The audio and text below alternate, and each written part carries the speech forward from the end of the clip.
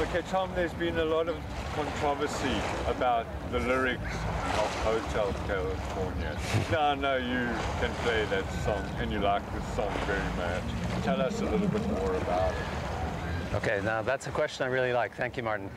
Um, Hotel California, an album that came out in 1976 by the Eagles, as you probably all know. The guitarist, the electric guitarist extraordinaire Joe Walsh had just joined the group, and he brought with it a whole dynamic of electric rock that hitherto didn't exist. And the Eagles went basically from a country western pop crossover sound to country rock. So Hotel California, that was the, the great song on that album and went down as one of the greatest selling songs in the history of rock music, has given rise to endless debates as to what the lyrics really mean. They're very enigmatic and very cryptic, that's for certain. When you listen to them, most people say it's something about Southern Californian lifestyle, it's something about hedonism, but they're not quite sure. So when the Eagles are interviewed themselves, what story do they tell? Because let's start with that. They say it's about the jaded, blasé, hedonistic lifestyle that characterizes Southern California. And indeed, when you listen to the song, their lyrics about mirrors on the ceiling, pink champagne on ice, Mercedes Benz, and it sounds a little bit like the epitome of that type of lifestyle. However, however, there are other interpretations, perhaps a little bit more penetrative and perhaps a little bit more titillating and even darker. One of the interesting ones is that the whole song is a metaphor for a drug trip. And the Hotel California, THC, spells out, of course, the principal components in grass which needless to say was extremely popular during that period in Southern California. So if you look at the beginning of the song, on a dark desert highway, cool wind in my hair, warm smell of colitas rising up through the air. Colitas actually can be a code word for grass. Um, then a woman appears out of nowhere. There she stood in the doorway. I heard the mission bell. I was thinking to myself, this could be heaven or this can be hell. So it could be a whole initiation into drugs. But as interesting as that is, I'm going to develop a little bit in more detail the third and slightly more somber interpretation.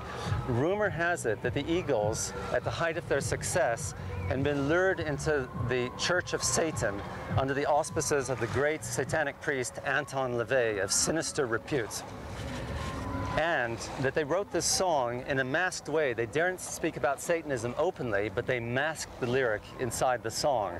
Now, if you open the album at the time where they still had albums, you'll see the inside of a hotel lobby, and in the back window, you see a man dressed in robes, black robes with a shaved head. And lo and behold, if you zoom in on it, that figure is Anton LaVey. Now, the Church of Satan was established in 1969 in California, and basically, its tenets are hedonism, living to the hilt, a disregard of traditional morality, and indulging fully in the senses, and particularly the sensual senses. So let's run through the song a little bit. So here's this man who's on a dark desert highway. His, my head was um, Dizzy, my sight grew dim. I felt I had to stop for the night. So he's feeling a little bit dizzy and strange. All of a sudden, a woman appears. There she stood in the doorway. I heard the mission bell, and I was thinking unto myself, this could be heaven or this could be hell. First indication of something sinister. Then she lit up the candle and she showed me the way. There were voices down the corridor, and I heard them say, Welcome to the Hotel California. Such a lovely place, such a lovely face, the face of Anton LaVey overlooking the congregation inside the hotel. So here all of a sudden we start to sense that maybe there's something more than meets the eye in these lyrics. Then it continues. Um, mirrors on the ceiling, pink champagne on ice, and we are all prisoners here of our own device. Hedonism, bordellos, champagne, and they're prisoners of their own device. Why are they prisoners? One of the tenets of the Church of Satan is that once you enter in and sell your soul to Satan, you are prisoner for all eternity.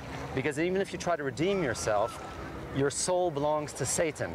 So it continues. She talks about um, how they dance in the, in the courtyard, sweet summer's sweat. Some dance to remember, some dance to forget.